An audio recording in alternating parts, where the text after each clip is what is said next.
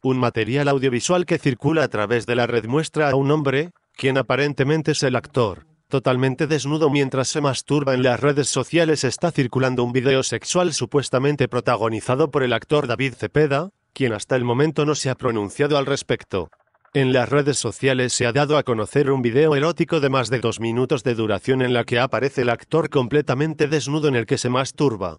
En el clip que anda circulando a través de WhatsApp, se muestra aparentemente al actor totalmente desnudo de pie y más tarde sobre una cama y en el que se muestra su rostro en todo momento. El nombre del actor se ha convertido en trending topic a raíz de este video que aparentemente fue filtrado después de que él se lo enviara por mensaje a una exnovia. El actor de Hasta el fin del mundo veo en durante todo el video de manera fija a la cámara, que se especula era de una computadora o de un teléfono móvil.